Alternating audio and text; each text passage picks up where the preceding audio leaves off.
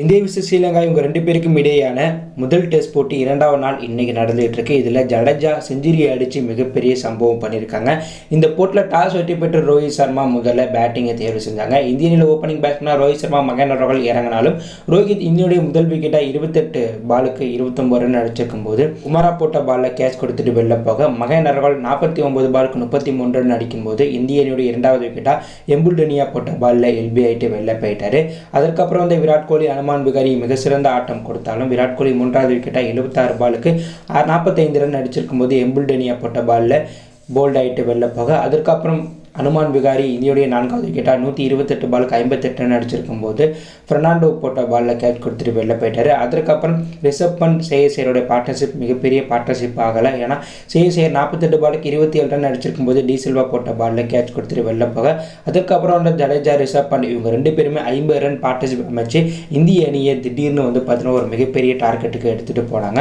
ரிஷப் பண்ட் செஞ்சுரியை நோக்கி போயிட்டு இருக்கும்போது தொண்ணூற்றி ஏழு பாலுக்கு தொண்ணூற்றி ஆறு ரன் அடிச்சிருக்கும் போது அவரும் அவுட் ஆகிட்டு வெளில போயிட்டார். அதற்கப்புறம் அஸ்வின் ஜடேஜா இவங்க ரெண்டு பேரும் முதல் நாளில் ஒரு டீசெண்டான பார்ட்னர்ஷிப்போட முதல் நாளில் போக்குனாங்க. ஸோ இரண்டாம் நாளான இன்னைக்கு அஸ்வின் ஜடேஜா ரெண்டு பேருமே தொடக்கத்திலிருந்தே அதிரடியாக விளாண்டாங்க இதில் அஸ்வின் அவர்கள் எண்பத்தி ரெண்டு பாலுக்கு அறுபத்தி ஒரு ரன் அடித்தாங்க ஜடேஜா அவர்கள் செஞ்சுரி அடித்து மிகப்பெரிய சம்பவம் பண்ணாங்க. ஜடேஜா அவர்கள் இன்ஜுரி காரணமாக அவதிப்பட்டு தற்போது நீண்ட போராட்டத்துக்கு பிறகு இந்திய அணியில் இணைஞ்சிருக்காங்க. ஸோ இந்திய அணியில் இணைஞ்சு டி டுவெண்ட்டியில் நல்லா விளாண்டாரு. தற்போது டெஸ்ட் மேட்ச்சில் அவர் முதல் மேட்ச்லேயே வந்து பார்த்தீங்கன்னா செஞ்சுரி அடித்து ஒரு மிகப்பெரிய சம்பவம் பண்ணியிருக்காரு ஜடேஜா இந்த போட்டில் நூற்றி அறுபத்தி ஆறு பாலுக்கு நூற்றி இரண்டு ரன் தற்போது நலவரப்படி அடிச்சிருக்காரு.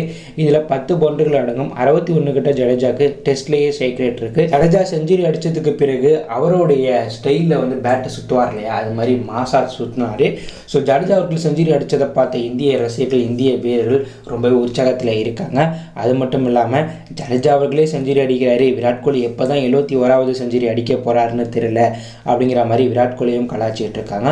தற்போது நிலவரப்படி இந்திய அணி நூற்றி பன்னெண்டு ஓவர் முடிவில் ஏழு விக்கெட் இழப்பிற்கு நானூற்றி அறுபத்தி எட்டு ரன் அடிச்சிருக்காங்க. கிரீஸில் ஜடேஜா நூற்றி இரண்டு ரன் நாட் அவுட் பேட்ஸ்மனாகவும் ஜெயந்த் யாதவ் இரண்டு ரன் நாட் அவுட் பேட்ஸ்மனாகவும் இருக்காங்க. ஸோ ஒரு ஐநூறு ரன் அடித்ததுக்கு பிறகு ரோஹித் சர்மா அவர்கள் டிக்ளேர் பண்ண வாய்ப்புகள் அதிகமாக இருக்குது ஸோ இந்த மேட்ச்சில் முதல் இன்னிங்ஸ்லேயே இந்திய அணி ஐநூறு ரன்களுக்கு மேலே அடிக்க போகிறாங்க ஸோ இதனால் இந்த போட்டில் ஸ்ரீலங்கா அணி வெற்றி பெறுறது ரொம்ப ரொம்ப கஷ்டம். ஏன்னா இந்திய பிச்சில் இந்திய வீரருக்கு இணையாக முதல் இன்னிங்ஸில் இலங்கை அணியால் ஐநூறு ரன் அடிக்க வாய்ப்புகள் கம்மியாக தான் பார்க்கப்படுது. ஸோ இந்த மேட்ச்சில் இந்திய அணி இன்னிங்ஸ் வித்தியாசத்தில் வெற்றி பெறவும் வாய்ப்புகள் அதிகமாக இருக்குது ஸோ ஜடேஜா மற்றும் ரிஷப் பண்ட் விராட் கோலி அனுமான் விகாரி அஸ்வினுடைய பேட்டிங்கை பற்றி என்ன நினைக்கிறீங்க? ஸோ இந்த மேட்ச்சில் இலங்கை அணி வெற்றி பெற வாய்ப்பு இருக்கா? அப்படி இருக்கிறத கவனம் லீவ் பண்ணுங்கள் இந்த பிடித்திருந்தால் லைக் பண்ணுங்கள் ஷேர் பண்ணுங்கள் கமெண்ட் பண்ணுங்கள் மறக்காம நம்ம சொல்லி